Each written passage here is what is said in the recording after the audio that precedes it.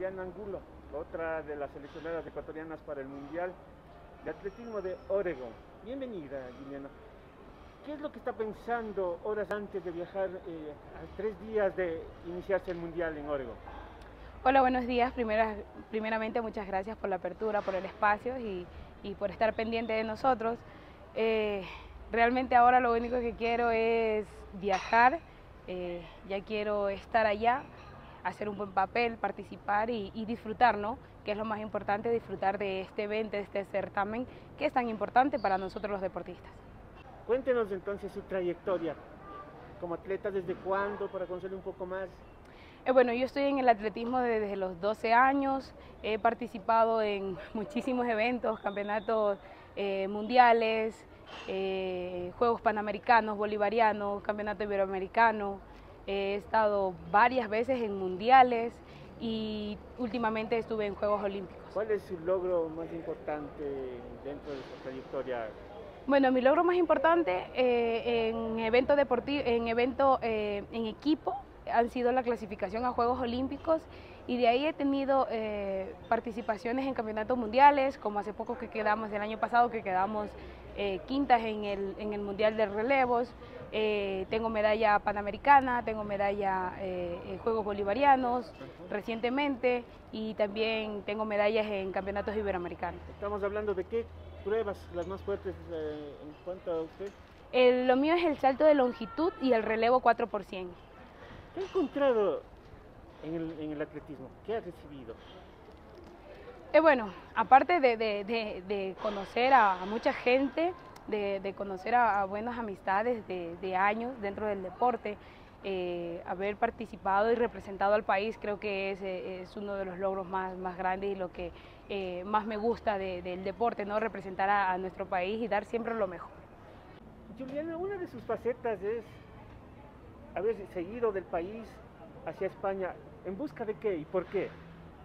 A ver, en busca de, de, de mejorar personalmente, de mejorar, de, de, ser tomada en cuenta y, y, y de, poder más adelante representar al país y dar buenos resultados. ¿Ser tomada en cuenta por quién? ¿Por qué dice esa parte? Claro, por ser tomada en cuenta por las entidades deportivas del país, porque cuando yo me fui a España, eh, nadie me tomaba en cuenta, no tenía apoyo, por falta de apoyo fui que yo tomé la decisión de, de salir del país.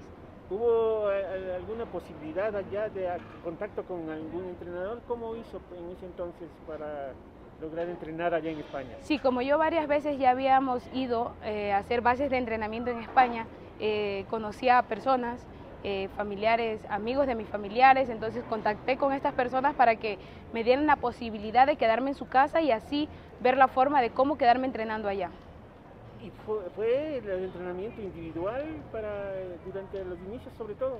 Así es, el entrenamiento al principio lo hacía yo sola, después eh, contacté con un entrenador, un club y por medio de ellos pues pude seguir entrenando y quedan, quedarme en España.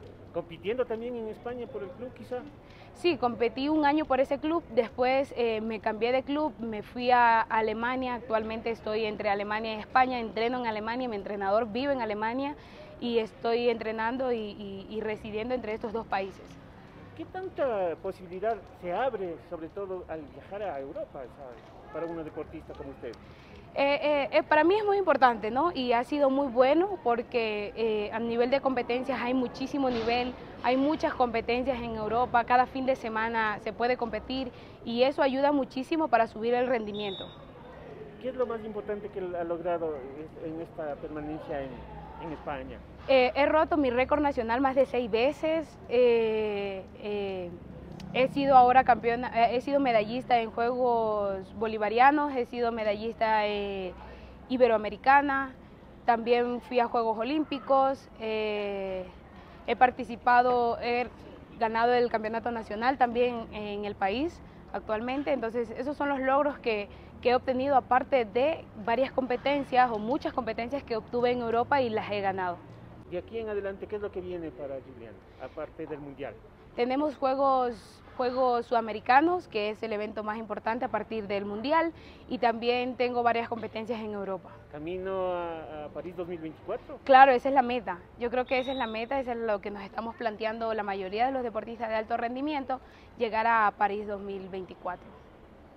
¿La expectativa personal en este Mundial? Eh, bueno, la expectativa tendría que ser en equipo. Eh, personalmente yo daré lo mejor de mí como siempre lo hago. Siempre intento dar lo mejor de mí y dejar el nombre del país en alto y bueno, yo creo, considero que eh, con mis compañeras a nivel de equipo es lo mismo. Cada uno en su que hacer diario incluso y no de decir en el atletismo tiene una motivación en particular, tiene una inspiración en particular. En mi caso suyo, ¿cuál sería?